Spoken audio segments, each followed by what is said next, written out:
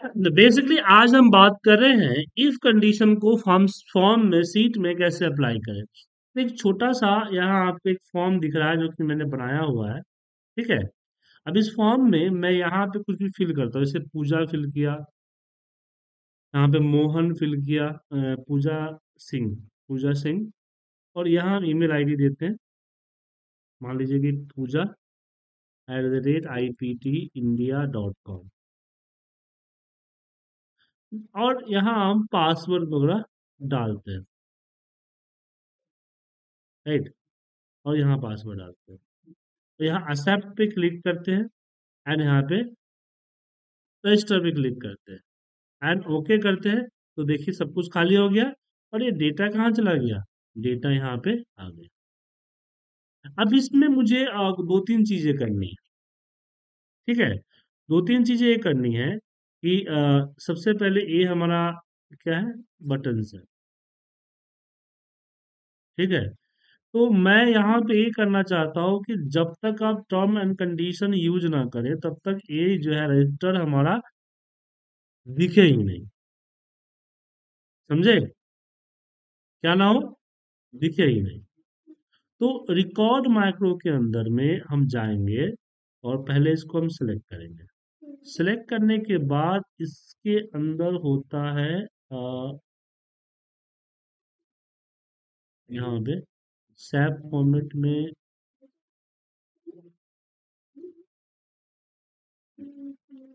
Selection pane यहाँ से hidden होता है।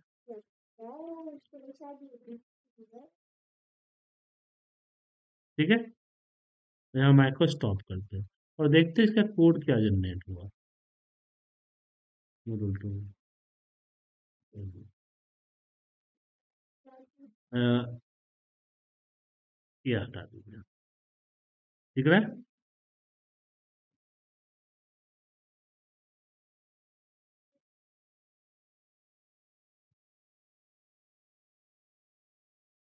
अब रेक्टेंगल राउंड कॉर्नर वन दिख रहा है ना यहाँ पे?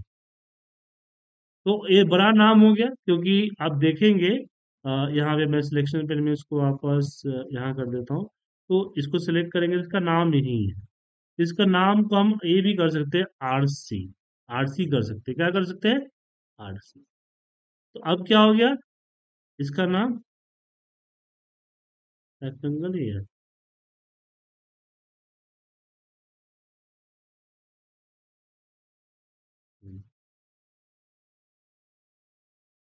अब आरसी दोनों जगह हो गया।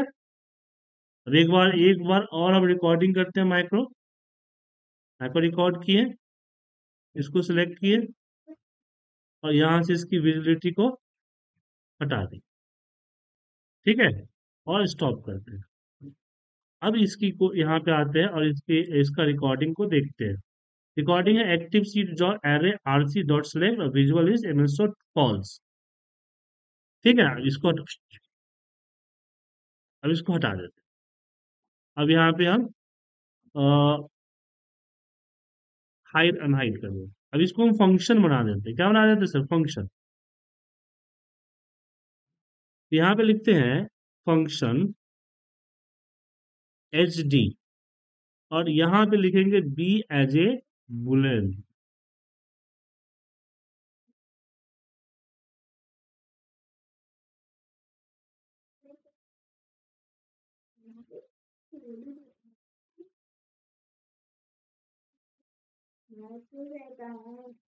इसको इन्वर्टर कॉमा में लेते हैं। और इसको हम राइट एंगल और बी कर देते हैं। ठीक है सर? अब हम अपने अ, उस माइक्रो वाला कंडीशंस में यहाँ एक मैक्रो हम बनाते हैं। यहाँ पे। मैक्रो नहीं से इवेंट होगा ना इवेंट तो इसको राइट क्लिक करते हैं। और developer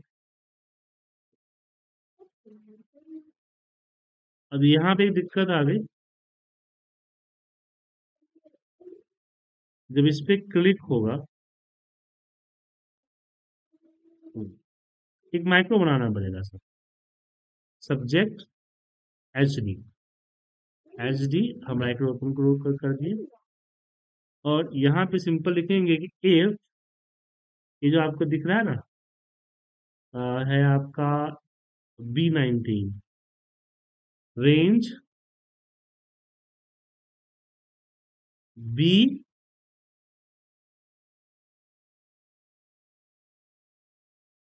B nineteen dot value is equal to true then क्या हो जाए?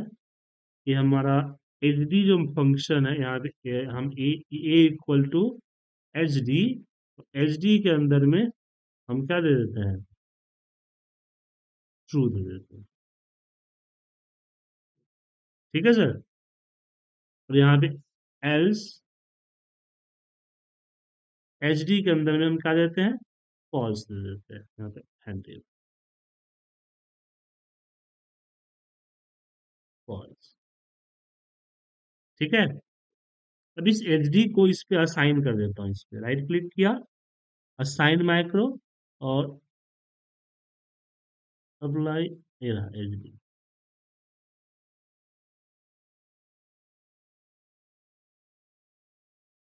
अब इस पे क्लिक करते अच्छा यहाँ पे एच डी ना है तो डी एच कर दिया मैंने। एच डी इसका माइक्रो का नाम एच डी है ना? हाँ।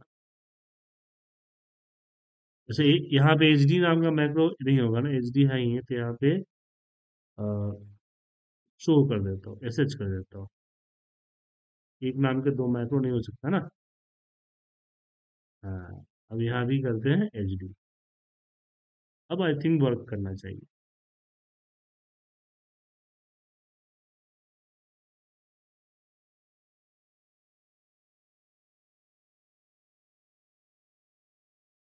Module one HD the micro not ओ हाँ। अब इस पर साइड माइक्रो दोबारा से करना पड़ेगा। ऐसे देना होगा।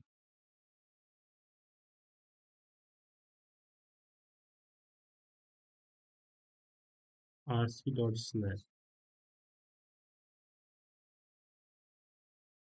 अच्छा इसको ज़रूरी नहीं है, इसको हटा दीजिए इस लाइन की ज़रूरत नहीं है। सिलेक्ट करने की ज़रूरत ही नहीं अब देखिए, इसमें एम यहाँ पे देना है मुझे एमएसओ एमएसओ के साथ बी लिखना था। बी मतलब ट्रू ट्रू फॉल्स तो ये इस तरह से ऐड करेंगे तो नहीं लेगा। ठीक है ना? तो यहाँ पे मैं कर देता हूँ MSO as a variant MSO true या एमएसओ फॉल्स चाहिए यहाँ पे? और यहाँ पे लिखता हूँ बी ठीक है? और यहाँ वापस आता हूँ मॉड्यूल वन में। और यहाँ पे एम एस ओ ट्रू यहाँ पे एम एस ओ फॉल्स आप देखते हैं क्लिक करके। ठीक है? समझे सर ये क्या था सैप्स था तो सैप्स के अंदर सिलेक्शन पेन में हम यहाँ से हाइड अनहाइड कर सकते हैं। ठीक है? तो अब इसकी हम मुझे कोडिंग को हमने इसको अभी आपको से डिस्कस कराया नहीं है ऑब्जेक्ट को। तो मैंने क्या किया? रिकॉर्ड करके इसकी कोडिंग ले ली। नाम थोड़ा बड़ा था तो इस पे सिलेक्ट करके हम दोनों जगह आरसी यहाँ भी आरसी दे दिए, वहाँ भी आरसी दे दिए। शॉर्ट नेम कर दिया। हालाँकि आप नहीं भी कीजिए तो चलेगा। ठीक है? अब यहाँ पे मैंने एक फ़ंक्शन बनाया। क्या बनाया? फ़ंक्शन क्योंकि अगर फ़ंक्शन नहीं बनाते तो मुझे दो मैक्रो बनाने पड़ते एक रू के लिए, एक फॉल्स के लिए मतलब एक हाइड करने के लिए, एक अनहाइड करने के लिए। तो मैंने यहाँ पे क्या किया? एक फॉर्मूला बना दिया। हमने फॉर्मूला में बोला कि एच डी और बी एज वेरिएंट क्योंकि एमएसओ ट्रू फॉल्स में बुलेट में चलेगा नहीं। और हमें स्ट्रिंग करेंगे तो दिक्कत हो जाएगा तो हमने वेरिएंट कर दिया कि भाई जैसा हो तैसा ले ले सिस्टम अपने हिसाब से डिसाइड कर ले। ठीक है? और यहाँ पे इस बी को दे दिया। तो फ़िलहाल बी कोई कोई ऐसा नहीं है, क्योंकि ये फ़ंक्शन है। तो जो हम फ़ंक्शन के अंदर में ब्रैकेट में देंगे, वो बी पे स्टोर हो जाएगा और बी इसको सप्लाई कर देगा। तो सेम यहाँ पे हुआ कि हमने लगाया फ़ंक्शन यहाँ पे फ़ंक्शन कि A equal to A S ले लिया कि एच डी एम एस को ट्रू और एच डी एम एस को फॉल्स तो एच डी फॉर्मूला है और एम एस ओ को क्या किया इसने? यहाँ बी को दे दिया और बी क्या कर दिया? उसको ट्रू कर दिया एंड फॉल्स कर दिया। क्लियर है? तो यहाँ से क्या हुआ कि भैया, जब तक आप यहाँ पे इसको क्लिक नहीं कीजिएगा टर्म एंड कंडीशन को तब तक रजिस्टर्ड आएगा ही नहीं। क्लियर है सर कोई दिक्कत इसमें?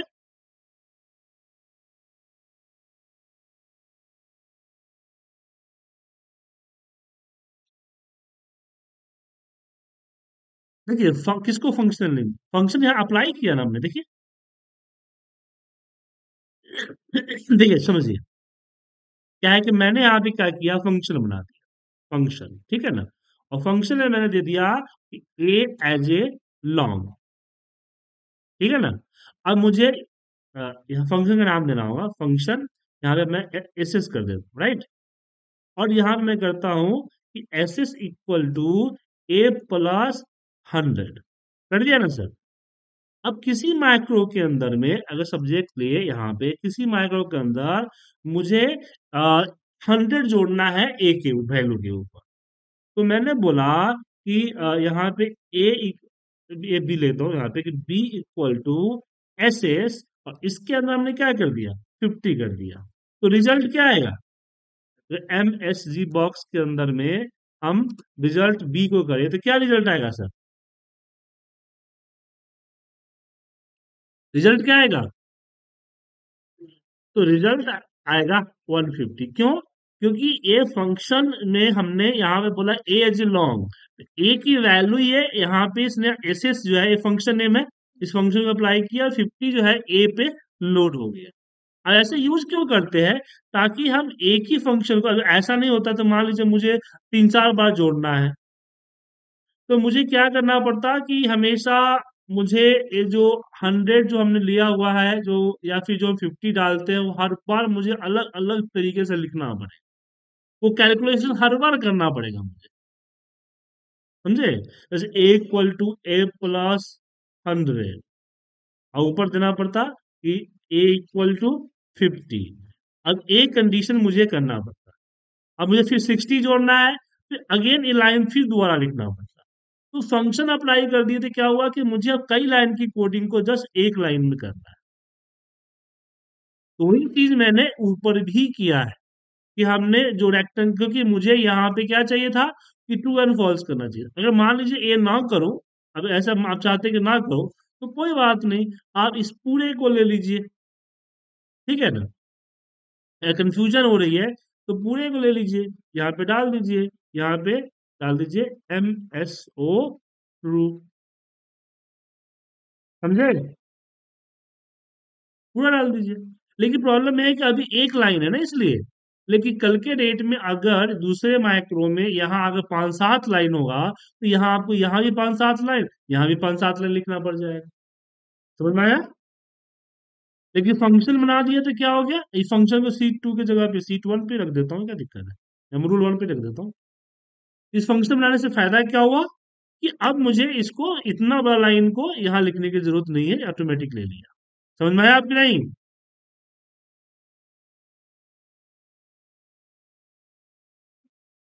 चलिए।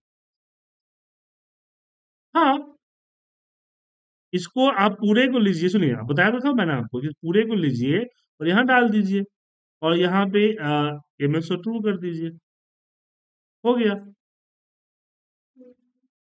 समझे? हम्म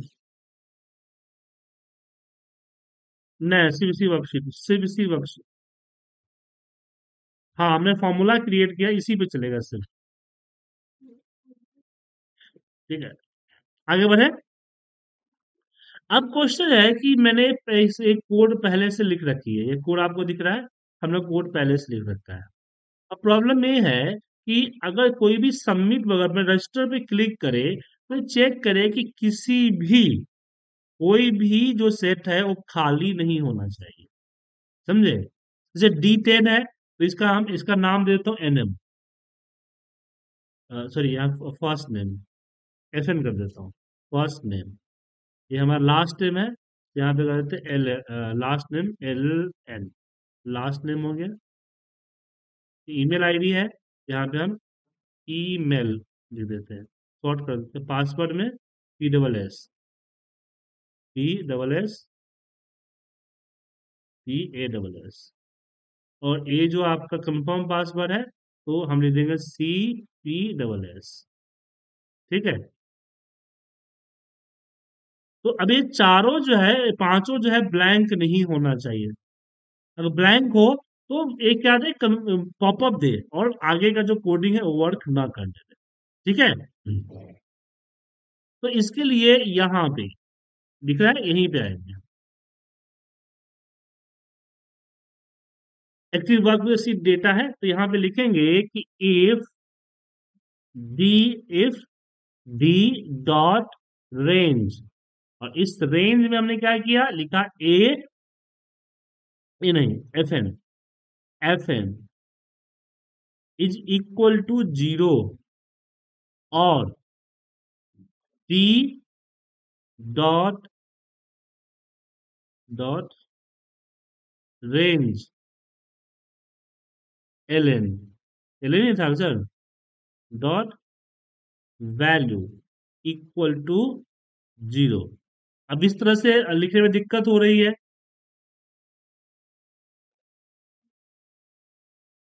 अब यहाँ पे चार है तो मुझे यहाँ पे एक और और लगाना। और D dot range equal to D नहीं हुआ एफ़ होगा ना, माफ़ कीजिए एफ़ होगा। अब यहाँ पे हम एक काम और कर लेते हैं। ये जो हमने चार D D ten G ten F ten किए हुए हैं ना, इसके जगह पे हम यहाँ पे कर देते हैं। ये सेट फॉर्म है ना, ये फॉर्म हाँ यहाँ लिखते हैं L N first name F N equal to F dot range यहाँ पे लिख दिया डी सॉरी एफ़ एन होगा ना? एफ़ एन डॉट वैल्यू ठीक है? फिर last name equal to dot F N dot range F F नहीं एफ़ है ना? F F dot range last name जाता है in M M M equal to F dot range assign कर देता हूँ ना? सही रहेगा। M dot value then pass equal to F dot range P A double S pass dot value और C P A double S pass equal to F dot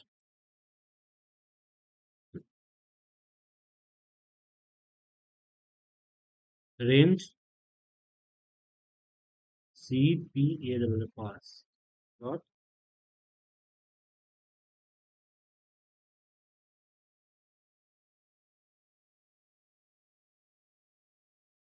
ठीक है।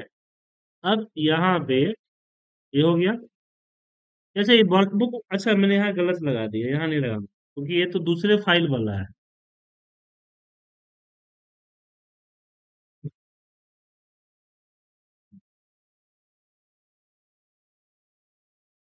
ये है यहाँ पे से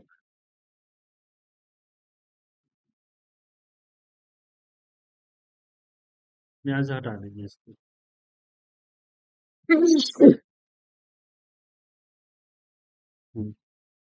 हमने बोला कि यहाँ पे एक और कर लीजिए कि dim F as A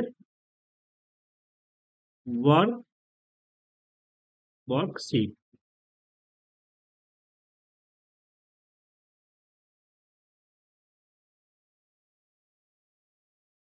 ठीक है? और सेट कर दिया कि active workbook workbook dot active sheet dot form form वाली सीट क्या है? एफ़ है। ये सब हमने कर दिया। अब आगे जो यहाँ आपने सीट का रेंज में लगाया है, इसके जगह पे आप सीधे लिख सकते हैं एफ़ एन फ़र्स्ट नेम यहाँ पे लास्ट नेम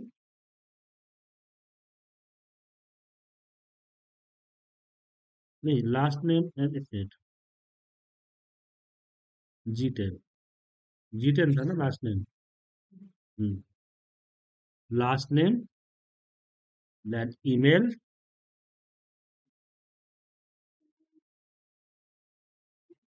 और यहाँ पे पास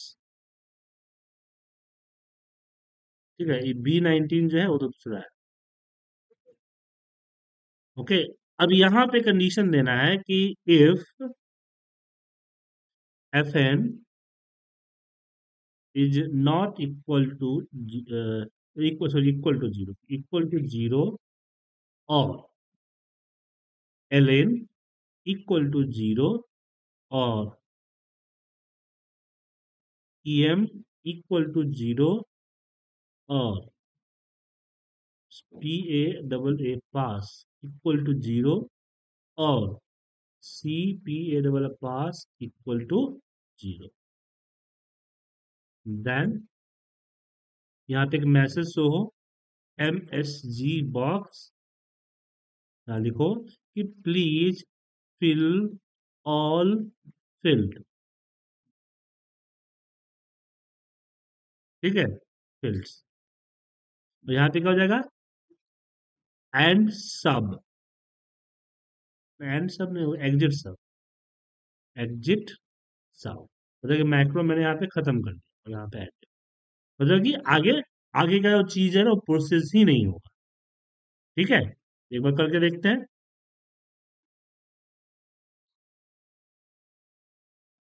ओ sorry sorry sorry sorry sorry एक गलती है। इस पे हमने दो दो मैक्रो सही नहीं मारा है। ये मैक्रो क्यों नहीं मैक्रो हटा देता हूँ। नीचे वाले जो मैक्रो है ना, इसको हटा देता हूँ। ये दिक्कत कर रहा है। इसकी ज़रूरत नहीं है। हम्म। राइट क्लिक किया और इस पे असाइन मैक्रो सेंड ठीक है? अब देखिए क्या बोला? Fill all the field sir आगे बढ़ेगा ही नहीं। और सब गिनती कर दूँगा तो आगे बढ़ेगा। ठीक है सर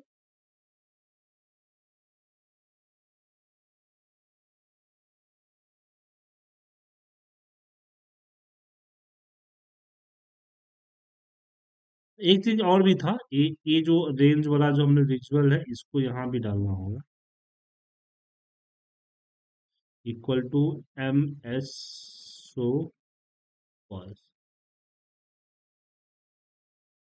क्योंकि सर यहाँ पे जब ब्लैंक हो जाता था तो यहाँ पे था ठीक है ना मैंने? देखिए हमें अभी मैं अगर ये करूँ, ओके, हट जाता जाने के बाद हट जाता है, इसलिए इसको ज़रूरी है करना।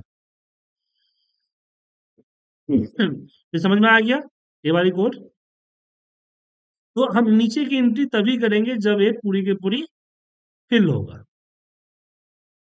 ठीक है? तो जैसे मैंने यहाँ पे पूजा लिख दिया, यहाँ पे सिंह लिख दू। और यहाँ पे हम पीपी लिख दिया। कोई ऐसा दे दिया यहाँ पे? पासवर्ड लिख दिया और यहाँ पे पासवर्ड को कंफर्म कर दिया। अब मैं इसको यहाँ पे अनचेक था, अब इसको चेक किया एंड सबमिट पे क्लिक किया देन ओके किया। ठीक है? अब नीचे हट गया ना? पिछला बार नहीं हटा था, क्योंकि ये लाइन यहाँ नीचे नहीं थी, अब नीचे है, हट गया। तो अब क्या हुआ कि वर्क तब कब करेगा? जब आप सबमिट पे क्लिक करेंगे। तो इसने चेक किया कि सब ज़ीरो नहीं है तो चलो भाई करने दो। तो इसमें से एक भी अगर ज़ीरो हो गया, इसलिए मैंने और लगाया एंड नहीं लगाया। एंड लगा दो तो क्या होता कि सारे अगर ज़ीरो है, तभी ये वर्क करता अदरवाइज़ वर्क नहीं करता। बट यहाँ पे मैंने एक ज़ीरो लगाया, इसका मतलब है कि वर्क नहीं करेगा। कोई भी एक होने में वर्क नहीं करेगा। अब मुझे यहाँ पे क्या करना है कि इफ़ कि pass is equal to C pass that क्या सो? मैसेज हो एम एस जी बॉक्स यहाँ पे बोले कि your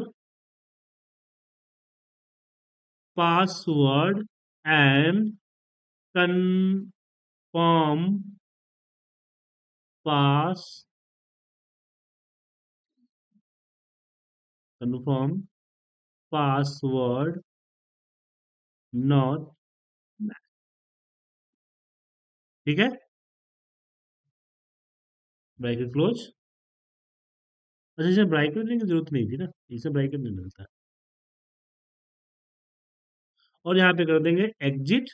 एग्जिट सब ज़रूरी है, वरना फिर वो चलेगा ही चलेगा, ठीक है? मेन एग्जिट सब भी है।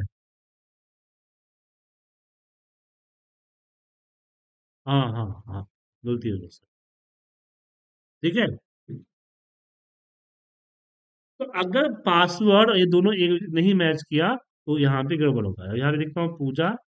यहाँ पे सिंह और यहाँ पे ईमेल, ईएम और यहाँ पे हमने एसएस कर दिया, यहाँ पे हमने डीटी कर दिया।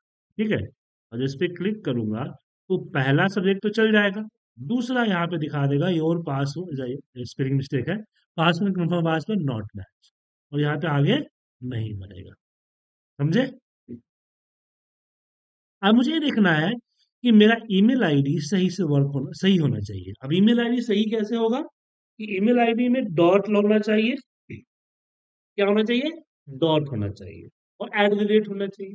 क्या दो चीज़ होना चाहिए ना? तो कैसे करें? इसको करें कैसे? ऐसे केसेस में बीवीए का एक फॉर्मूला होता है इन एस टी आर तो मैंने यहाँ लिखा C equal to in S T R और इन एस टी आर के अंदर में हमने बोला कि एक से स्टार्ट करो और हमने बोला कि एट द रेट किस पे ढूंढना सॉरी किसमें ढूंढना है? तो हमें ढूंढना है ई एम में। ई एम में किस, क्या ढूंढना है? तो पास। तो पास सॉरी यहाँ पे at the rate at the rate ठीक है? फिर यहाँ पे डी इक्वल टू देते in S T R in S T R जो एक्सेल में फाइंड का बता काम करता है ना वही करता है। यहाँ पे ई एम और फिर यहाँ पे मुझे करना है, मुझे सी के बाद डॉट चाहिए। सी से पहले नहीं सी के बाद डॉट चाहिए। तो यहाँ पे यहाँ पे मुझे डॉट लेना है, और सी के बाद, ये जो वन दिए मतलब कि स्टार्ट वन से करना है तो यहाँ पे बोलूँगा स्टार्ट वन से नहीं करना है, और स्टार्ट सी प्लस वन से करना है सी के आगे से करना है। ठीक है? अब कंडीशन देते हैं कि if C is C is equal to zero और D is equal to zero then और लगाना। देन यहाँ पे मैसेज हो एम एस जी बॉक्स लिखें कि please enter correct email ID. ठीक है सर? यहाँ पे आप फाइंड का भी फॉर्मूला लगा सकते हैं। और यहाँ पे एग्जिट सब देना ज़रूरी है, वरना कोई फ़ायदा ही नहीं होगा इसको डालने का। एग्जिट सब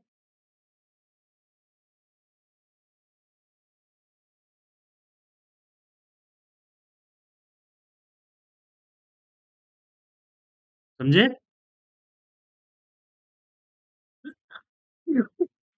सॉरी यहाँ पे देखिए। सॉरी यहाँ पे मैं अगर डी डी और यहाँ पे डी डी कर देता हूँ तो पासवर्ड सेम हो गया। तो एंटर करेक्ट ईमेल आईडी अगर इसमें मैं डाल दिया E M at the rate at the rate यहाँ डाला एट द रेट या, अब मैं डॉट कॉम नहीं डाला ठीक है? तो एक ईमेल आईडी दिखा रहा है। अब मैं इसमें डॉट कॉम डाल देता हूँ। तो क्या होगा? डेटा सेव चल गया। समझे?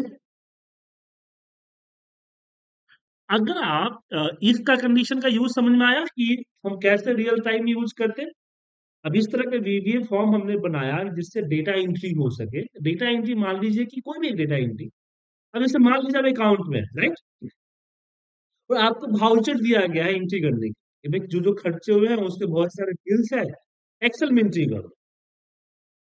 अब एक्सेल में एंट्री करने में क्या होगा कि अगर पूरा का पूरा दो चीज़ें होगी या तो आप एक नया एक्सेल बुक से एंट्री करवाओगे, क्योंकि आपका जो पहले से जो सालों साल का जो भाउचर का डेटा है, उसको तो दे दोगे तो दिक्कत हो जाएगी सर?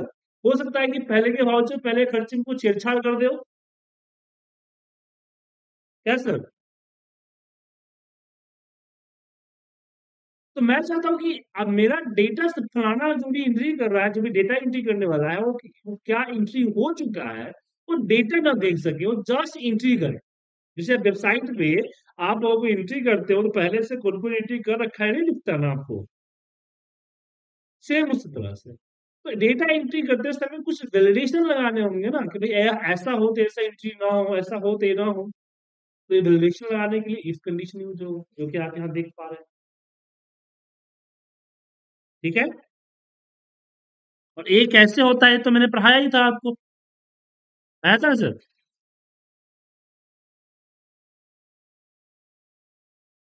बस ये आपको थोड़ा सा सिंपल फॉर्म पे पढ़ाया था, ये थोड़ा सा स्टाइलिश फॉर्म है, ये अंतर है। ठीक है? तो ये फ़ाइल मैं भेज रहा हूँ। अब मुझे आप यहाँ पे एक चीज़ करें। कि ईमेल आईडी यहाँ पे एक चीज़ का मुझे कंडीशन लगा के उसकी कोड भेजे कि जो ईमेल आईडी है ना।